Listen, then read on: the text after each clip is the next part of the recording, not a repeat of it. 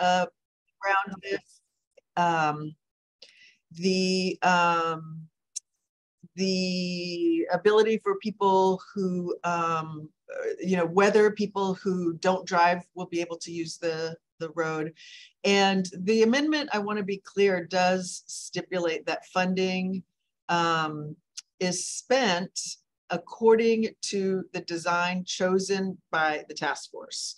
Um, so we've had some questions. I, you know, I had posted kind of a graphic that um, showed one option. The intent really wasn't to say that we've already made a decision. Um, and the language itself does intend that this task force will identify um, will identify the preference. So I just want to make sure that's clear. Um, what I will say is that um, there have been 29 collisions uh, on this stretch of Lake Washington Boulevard in the last 20 years or so, 11 uh, since 2017. Um, and so the goal here really is to make sure that the road is safe, um, not just for drivers, but for people who cannot drive or choose not to, and who still want to be able to have access to the boulevard. Um, so, you know, that's that's the goal here. Um, and really the vision for, for transportation in South Seattle um, is to make sure that we are addressing road safety um, for everyone. Uh, we have a lot of people in South Seattle who have disabilities. Uh, non-drivers also include children, uh, include people who are elderly, and um, so we really just need to make sure that there is an opportunity for folks to enjoy their neighborhoods, to be able to navigate their neighborhoods safely, um, and to be able to have access uh, where where people don't, some people don't have access right now. Um, so uh, maybe I will stop there. Um, uh, I guess the, the mm. last thing I do want to say is, um, you know, we are, um, my office is in pretty regular communication with, uh, with SDOT, with Sound Transit, with, um, you know, Seattle Neighborhood Greenways, uh, with organizations that represent people with um, mobility issues. Um, if there are folks uh, who are here uh, who are not in regular communication, who we aren't in regular communication with, I'm happy to um, make sure that we are setting time to be able to hear your point of view or hear your concerns and make sure that everybody's um, included, not just in this conversation with the task force, but included in the kinds of things that we're hearing in our office as well. So probably, thank you, Councilman Morales. Probably what we'll do is we'll do, um, if you raise your hand, I'll call on you and then we'll go one question at a time and then we'll come back around to you if you have a second question. Does that work? Okay.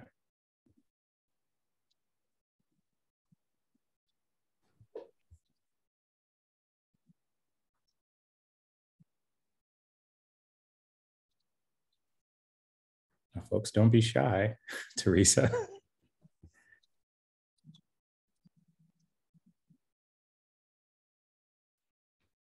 Teresa, we see your hand raised. I don't know if you're just uh, not on mute. Sorry. I said, hello, everyone. Hello, council member. My first question is, do you feel that this look at Lake Washington Boulevard area has been fair and equitable and has been listening to everyone in the community? Uh, well, I will say that this there's been a few iterations of community engagement um, and uh, in the last year or so, I know that um, SDOT has reached out to, um, for example, Rainier Valley Greenways, um, to a Disability Mobility Initiative and others to try to get um, a broad uh, spectrum of opinions and, and perspectives as they're having these conversations, as have I. Um, you know, we've tried to connect to different um, kind of stakeholder groups.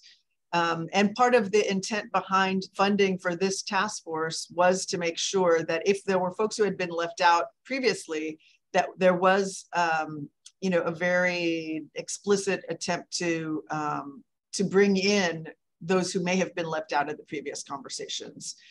I don't claim that it was a perfect process, but I do think that there has been a real effort to bring as many voices as possible to the table. Can I piggyback on that or should I wait till the next sure. Oh, uh, well, I'm. Um, I, let's see if somebody else wants to raise their hand. There we go. Uh, Yuan, you have your hand up.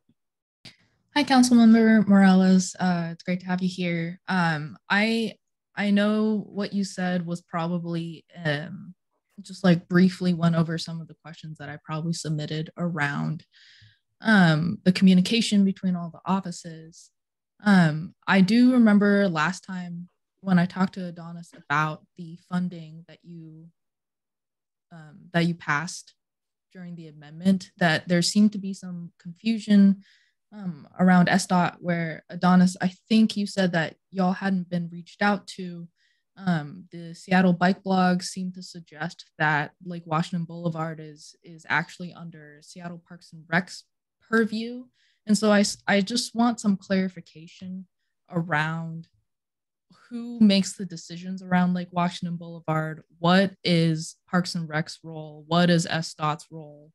Um, and whether or not we can be assured that there will be more communication moving forward. Um, I know that you said that you're you're in a lot of communication with organizations and and SDOT, but I think I just haven't seen that.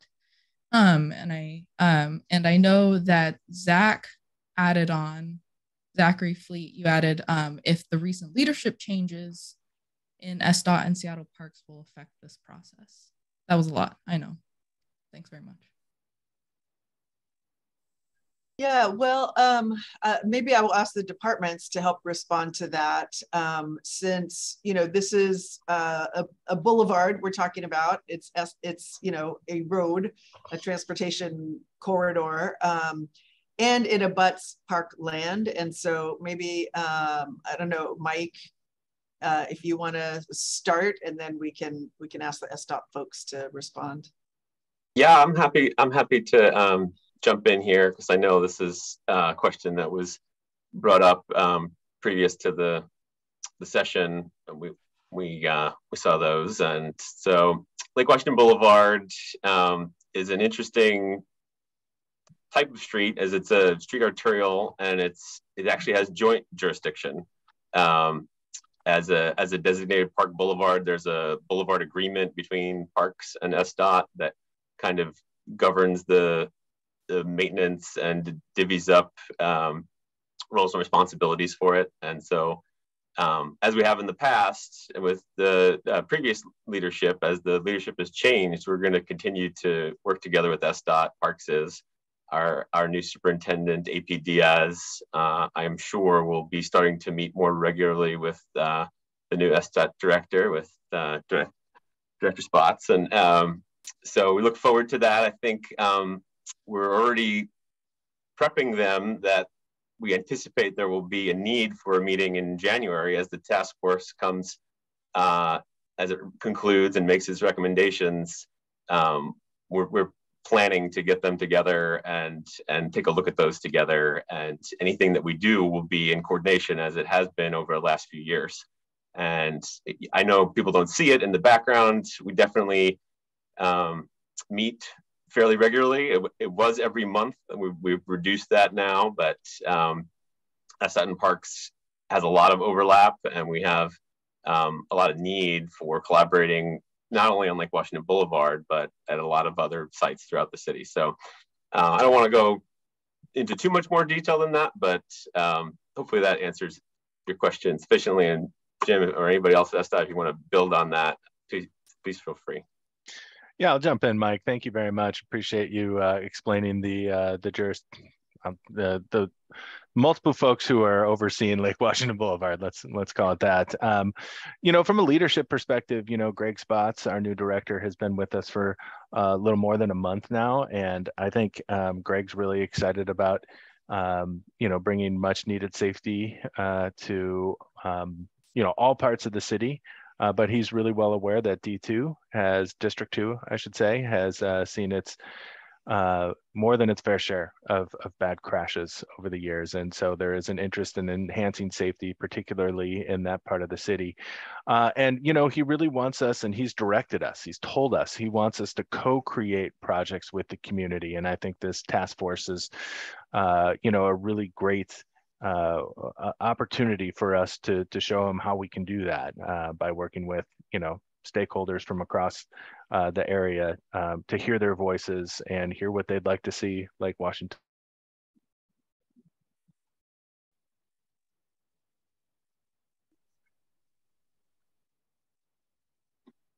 Luan, does that um, help answer your question?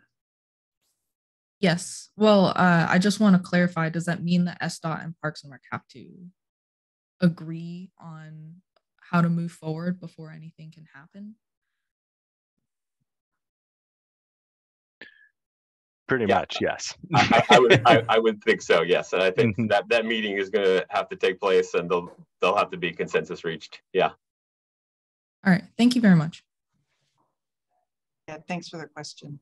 And Zach, I see your hand up. Uh, good afternoon. So I, I am here as a representative of the Mount Baker Community Club. And one of the things that this task force has sort of talked about, but we haven't followed up on much, is um, uh, well, first of all, thank you for advocating for for your district, and we're hoping that something is going to come out positive for Southeast Seattle. What we had a little discussion about was quote unquote thinking big, like what can really be done like, is this a point in which we could really access some significant resources in an area that typically doesn't get much resources? And what we haven't been able to do is access either SDOT or Parks or someone else to maybe be able to give us an overview of possibilities. For example, if there was the ability to have some sort of major project that involved a two-way bike lane. That sounds great. We don't know if there's room on the west side of Lake Washington Boulevard to create that sort of space. We don't know if that's an impossible suggestion on our part. And I'm wondering if there's at this juncture, as we're first doing outreach, but later going to be coming up with ways to potentially uh, accomplish what's being asked for, will there be an opportunity for us to get input about uh, uh, enlarging our dreams, if that makes sense? And in that is supposed to be a question of can we solicit maybe design parameters even if they're larger than the 200 or the 404,000 are currently able to, to uh, you know, sustain, if that makes sense. We'll try to initially answer that question, then I will let Jim take it from there. Um, so Zach, we, as we mentioned before, we're in the planning phase of all of this. And so we're collecting the information. What's the big vision? The next phase after this is the design. And that's when the designers get in there and then they look at things like space and room and, and what it would take to make the recommendations that come out of this task force a reality. Um, and then there's a whole nother outreach component associated with that. I'm not sure if there'll be one option or four options that get presented to the community of like, hey, here's what we heard, here's what we can do, and here's three different options of what we can do. Here's the trade-offs of those options. Um, that's typically how those things work. And then then we would move to construction further down the line. So, um, but I'll pass over to Jim. Uh, Donis, you, you answered that question perfectly well. I think you know that that's the purpose of this, right? Is to actually like think uh, think big about Lake Washington Boulevard, and if uh, if there is an alternative that the community wants us to vet, then you know we will we will do so in subsequent phases of the project. Obviously, I think there are some slopes we're contending with on on Lake Washington Boulevard that make things uh, a little bit more challenging, um, and I think as we um, as, as we move from planning into design, we'll be able to more accurately uh, determine whether or not uh, some of the uh, design elements that I think you're thinking about are feasible or not.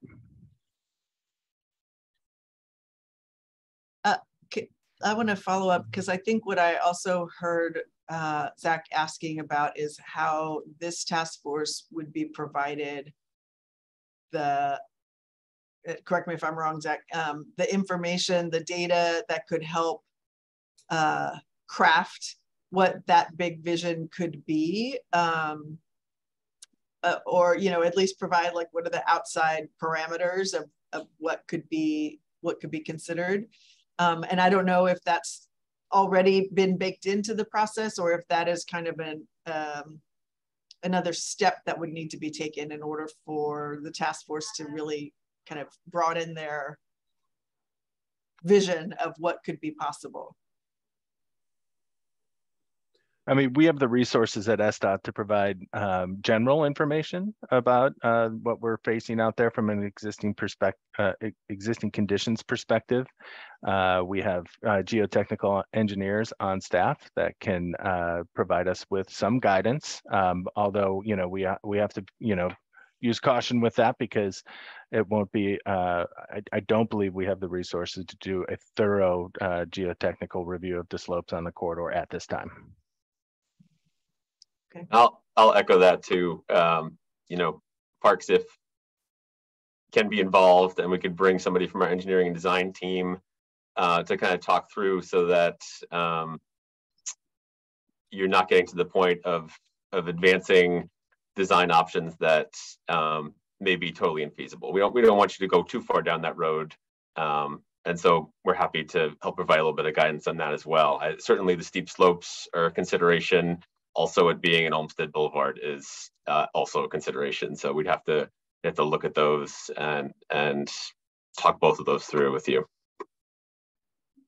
So I want to be um, conscious of time here. It's 424. Clara, you have your hand up. Um, yeah, uh, thank you so much for being here. Um, so You've mentioned a few times the work group recommendations for design and for um, how we want to move forward on Lake Washington Boulevard. And um, we as a work group up until now have generally been occupied with uh, like the community outreach planning and have sort of struggled a little bit to find where the lines are for our authority as a task force. Mm. Um, so I'm wondering if you can just speak a little bit about uh, like what your office is expecting to come out of the other side of this process in early 2023, or what would be valuable for us to have like as a deliverable to you or final product to your office. Um, and maybe it would be helpful for hear that answer from SDOT folks as well. Like, are we looking for something like vague with who we want to accommodate and for what purpose? Or are we looking for something like a, a recommended street design or something in between? Or like what what the expectation is there? Yeah, well, I'll start with sort of the technical answer, and then we can uh, hear from the departments about what that means in terms of implementation. Um, and I will acknowledge that um, you know council is sometimes in the habit of um, requesting things from the department without a clear understanding of how they will implement and sometimes without a clear understanding of how the executive will implement either. So, um, so just so everybody is clear, the, the language, the actual text um, says that the funds allocated in 23 and 24, uh, $202,000 would be designated um, for material and construction costs for a new protected path, um, which presumes that by the time we get to this uh, time of next year, there is a plan. Something has been identified. There is a preferred alternative um, that the group, uh, you know, wants to see built. Um, and uh, and so, you know, the point of the task force was to, as I was saying before, sort of make sure that folks who weren't included in previous engagement um, had a chance to be involved in the discussion, had a chance to be involved in the sort of vetting of ideas. Um, but yeah, the, the goal is that we can actually start to implement a project next year. Um, and so, you know, I would be interested in hearing from the departments your perspective on the feasibility of that or you know what steps need to happen uh, between now and then in order to get to that point. Yeah, I think um, I think we're on the same page, uh, Councilmember Morales. I think we want uh, to come out of this task force with a vision for the corridor, and you know specifically an alternative that we can then, uh, you know, determine, um, you know, what it'll take, uh, what it'll cost uh, to build it.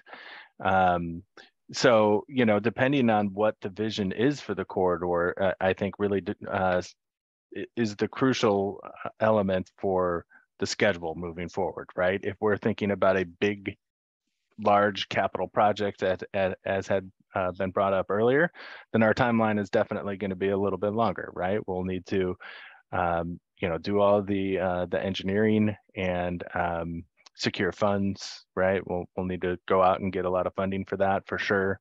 Um, and we'll have to you know face all those engineering design challenges as we as we work through the project if we're if we're looking for something that um, uh, doesn't require uh, a, a, large scale capital project if we're looking for some uh, way to use the space that we have out there today differently uh, then i think you know moving forward and, and getting uh, started within the next year is more realistic um, but you know, it does take time. We want to make sure that we uh, get the design right.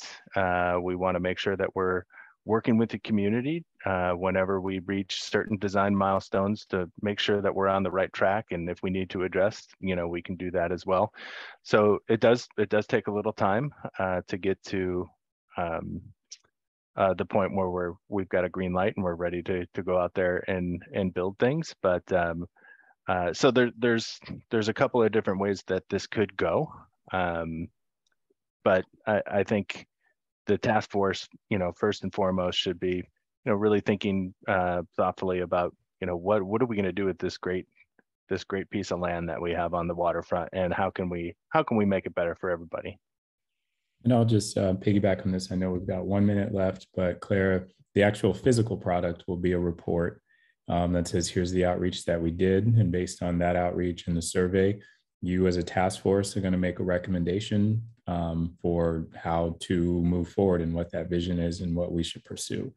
Um, and that will all be in the report. And then early next year, we will have an open house to just reconfirm with the community that that's what they said and here's what we're moving forward with. And that's what gets, um, that's what we'll get moved forward. Uh, so we've got it's 4:30. Um, I do want to respect the council members' time, if that is your time. Yeah, I can uh, maybe take one more question, and then yeah, I probably do need to hop off. Okay. There's so, another. Teresa, you've had your hand up.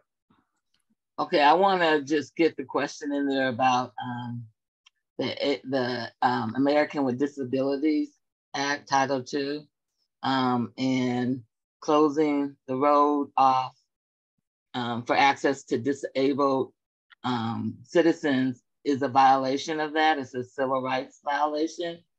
And there have been many people who are upset about it um, because I, you said that you reached out to several groups and, and stuff in the beginning, but unfortunately, the groups that you reached out to seem to be um, one-sided and favored, and uh, and they didn't represent the, the issue well in the Facebook groups.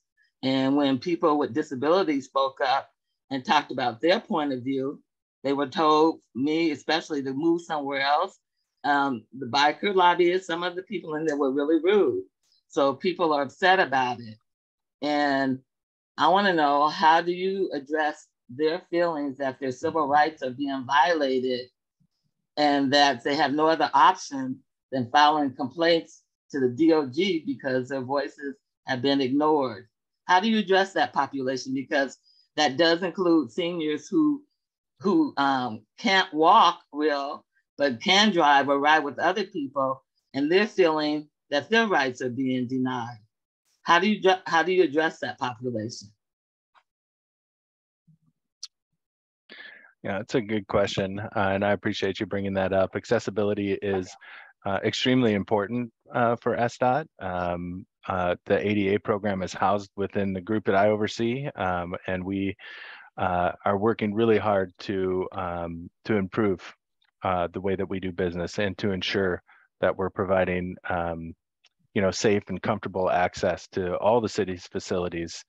Um, and I know this is this is a, a very interesting uh, you know question that comes up, um, and you know I think that's one of the things that we need to sort sort out as part of this uh, this visioning process is what does it mean uh, if we are going to change the way Lake Washington Boulevard operates for people who um, you know are using mobility devices or uh, might have some other mobility challenges. So um, so I think I think you know we would encourage you all to uh, to continue to uh, to to think about things from that perspective as we move forward, right? I mean, um, I think um,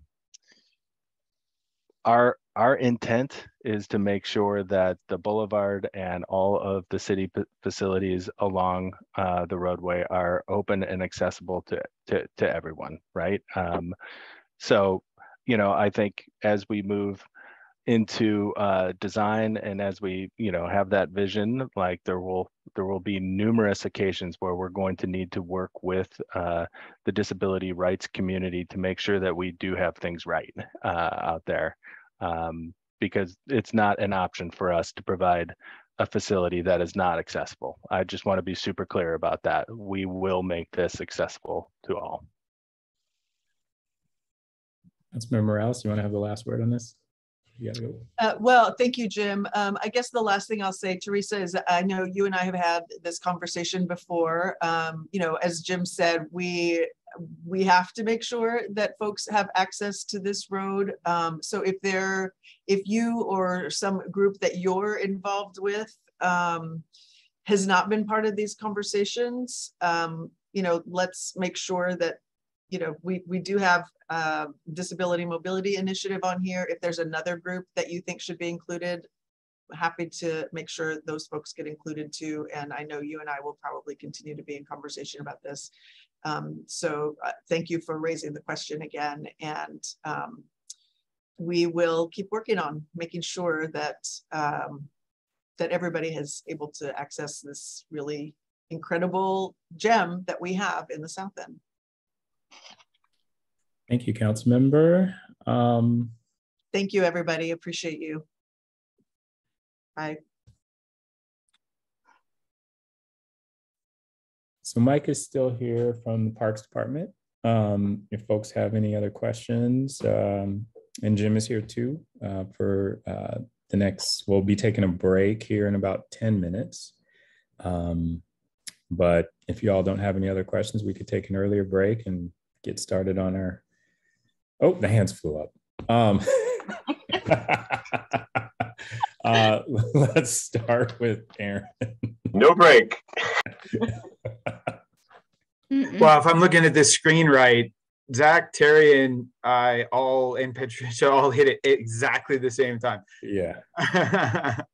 so my my one question is um, so I have a background as a builder, uh, both civil and, and commercial, and I am am, am want to know, um, especially from Jim, what is the feasibility of literally just shutting down one of the lanes of the of Lake Washington Boulevard so that it's only one way traffic, and and specifically, if we had two way bike lanes on that is Seattle required, you know, use up one of the lanes as a two-way bike lane. Is Seattle required to have a running lane, um, you know, like or a or a rolling lane besides those bike lanes? I mean, I just I I guess what I'm asking about is what the policies are for SDOT as far as uh, mobility is concerned for you know for for those kind of options. Do, you know, would it would we have to could we fit whatever we need to fit in one road lane?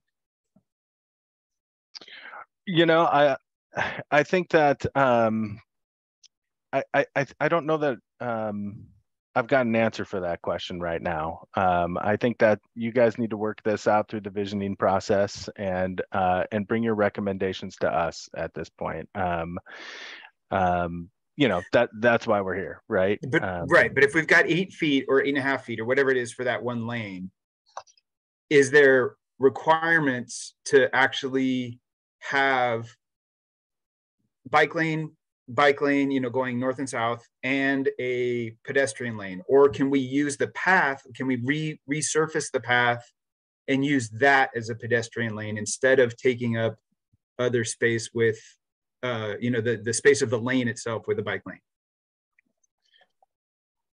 Oh, sorry. Okay, I'm unmuted. Um, yeah, I mean, again, like I, th- I think that um, you know, those are questions that you're gonna you're gonna need to answer as the process goes on. Um, I, you know, as far as like uh, the requirements are concerned, there's there's a whole host of things that uh, we need to do, and accessibility is the most important. The ADA accessibility, as we mentioned earlier, um, and so that's, I think, what we would want to turn our attention to uh, primarily. Um, uh, and and I think, yeah, you'll you'll all you'll all get into that. I think um, as part of the visioning task force here. So I think you know I would encourage you all to to explore that as the process moves on.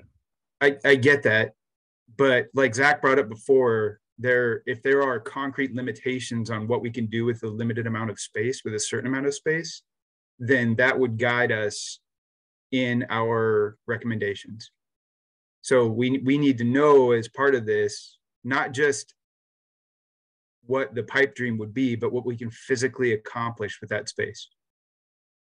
Well, oh, sorry, Jim. Um, to just jump in super quick, I think I, I hear you, Aaron. And, um, and Zach, it's like, well, what is possible? You don't want to make a recommendation on something that's totally impossible because then it feels like that's kind of like a waste of a recommendation and time. Um, but at the same time, um, I think it is important to know what the, you know, after the survey comes back and the outreach that we do and the recommendation that you all make, if that is somewhere that the task force lands on, um, you shouldn't let that preclude you from making that recommendation because we just don't know if it's possible or not um, until we know exactly what it is the recommendation is, right? Um, because there's, I'm not an engineer, I'm not a designer, but I'm sure there are a number of ways to make something happen. And it may not look like exactly what you have in your mind right now at this moment, but there is probably a way to make it happen. But there will be trade-offs and there will be this and there will be that and those different options are presented. So i think that's why it's kind of hard to answer the question right now. And, but that should not preclude this task force from making the recommendation that they want to make that they um, if that makes sense i don't know if i got that right jim that makes sense adonis thank yeah, you that's exactly right um, terry you have your hand up yeah, um, this is addressed mostly to Mike. And Mike, it's nice to see your face. um, so two things. One, one is um, I have been frustrated thus far that Parks has not been at the table at all the task force standard meetings. This, there's a lot of meetings that occur that are in staff, but our monthly meetings, we I felt that it was unfortunate that we didn't have parks participation. So I'm hoping that, and Adonis suggested in the last meeting that here in the, as in the future, that parks will have staff present at our task force meetings. And I think that that is something I would like to re respectfully request on a regular basis. Um, the second is that um, in the MPD's research that was done regarding uh, how to fund things in the city generally, the pathway along the boulevard was a pretty high priority um, recommendation in the MPD um, sort of guiding document. So what I'm curious about is we're talking about monies that were designated for specifically the roadway, but I'm, I need to know, I'd like to know if there's any uh, guidance uh, coming out of the MPD in terms of funding for the path. Terry, I'm, I'm happy to be a little bit more involved. I, I want you to know, and I've mentioned this earlier, that uh, we absolutely continue to meet regularly with SDOT. I get updates on what's happening with the task force. And, um, you know, it's SDOT's certainly been leading the effort on this and um, and we'll have that coordination step as the recommendations kind of come out of the end of the process. Um, in terms of uh, MPD funding, we're taking a look at the six-year cycle and what is included in that and making work plans to um, parse that out over the span of the six years. And I think as we get a little bit deeper into the park district and um, what exactly is included, I'll have a better understanding of uh, what is possible. I do know, in term, especially in terms of the um, relationship to the path. Um, I do know that we have um, our small paving program, which is modest, um, that has been gradually, incrementally been um, addressing small segments of the pathway adjacent to the boulevard, um, trying to address root heave. And unfortunately, uh, in this day and age, we would never allow uh, that pathway to be constructed the way it is with the proximity of significant trees to a pathway because it's so difficult to um, maintain. I think we're doing the best we can to try and keep up with that and and gradually chip away um, small segments at a time as as a maintenance project. And so um, we're it's on our list, and we're definitely making uh, slow progress at it. And that's um, as we take a look at the MPD, we might be able to accelerate that progress moving forward. So that's hopefully that answers your, your questions and well, it, just, it would be good to have that input as part of our decision process. So um, the more information we can have on that, the better. So um, we are coming up on 445. We've got a minute. I Patricia, I see your hand. Zach, I see your hand. And Teresa, I see your hand up. Um, real quick, Mike, can you let the folks know what MPD means for those that don't? Metro Metropolitan Park District. Perfect. Um, so we've got time for some super quick ones. Um, and then I know Jim's got to go, Mike's got to go, and we have to move on to the next. Um, got to take a break before we move on to the next thing. So Patricia, uh, you've had your hand up. And I'm so sorry. I have no idea what it was at this point. So I'll defer to, to the next person. okay. Uh, Zach, real quick, you got a quick one? Thanks, Quick. And this will probably be for them to follow up with this later, but parks is part of our big vision process. And one of the things was what improvements to facilities could be done along Lake Washington Boulevard.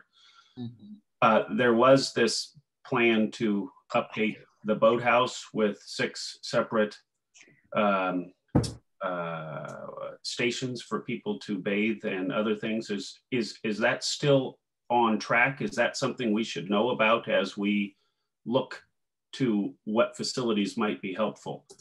At Mount Baker Beach? Yeah. Yes, that, that, um, Can you just get us the info somehow so that Yep. we would know? That'd be great. Perfect. And Teresa, you got a quick one for us? And I, re- and I remembered. Well, Pat can go first. okay, yeah, no, I um I just wanted to ask because we, we we- we've had some some inquiries. I actually also just today just resubmitted another survey report. Um, and so the concern that has come to me um, is that um, it still People seems like submitting people multiple tend to surveys. survey multiple times. We'll address that at the end of the meeting, Patricia. Teresa?